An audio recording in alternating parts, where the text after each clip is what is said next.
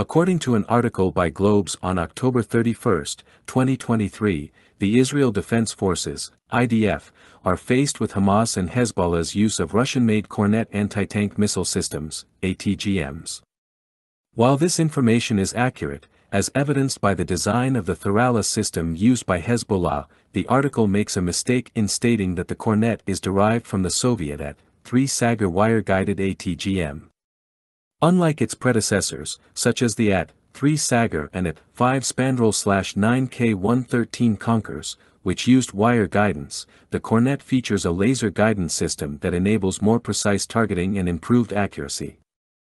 Created by the Russian company KBP Instrument Design Bureau, the Kornet ATGM's development commenced in 1988, based on the earlier 9M119 Reflex M ATGM, also known as At-11 Sniper, and concluded with its adoption in 1998.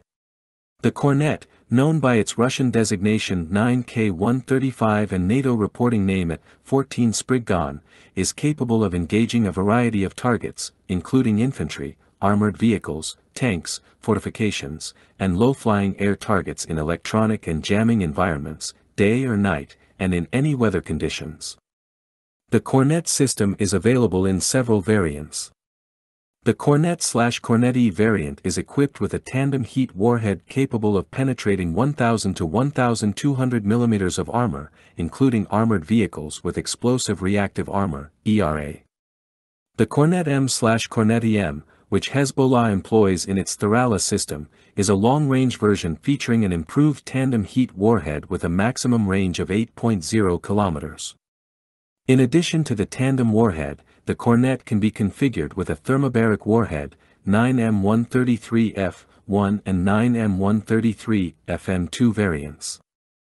Another variant includes a lighter HE-frag warhead with a maximum firing range of 10 kilometers.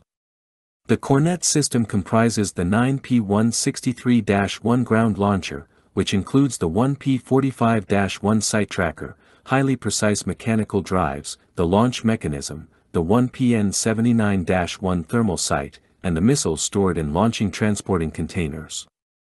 The Kornet system can also be mounted on various vehicles using the 9P163-2 launcher designed for installation on wheeled or tracked combat vehicles.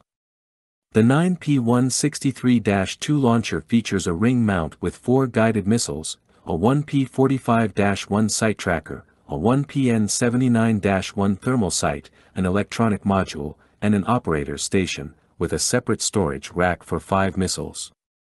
The Kornet anti-tank guided missile is renowned for its high immunity to jamming of the laser beam guidance channel, has a firing range spanning from 100 to 10,000 meters, and exhibits the ability to penetrate between 1,000 to 1,300 millimeters of armor, depending on the specific variant.